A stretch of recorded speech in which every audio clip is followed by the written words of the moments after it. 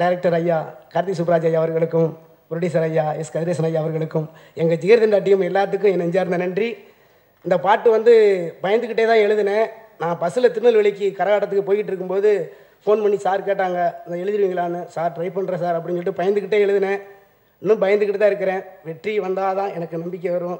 ஆகவே இந்த என்னோட தமிழ்நாடு ஃபுல்லாக இருக்கிற ரசிகர்கள் பார்த்துக்கிட்டு தான் இருப்பீங்க இந்த இந்த காட்சியை. ஆகையால் தயவு செய்து திரையில் போய் படம் பார்த்து இந்த படத்தை வெற்றி அடைய வைக்கணும்னு எல்லா ரசிகரையும் நான் வேண்டிக்கிறேன் நன்றி வணக்கம்.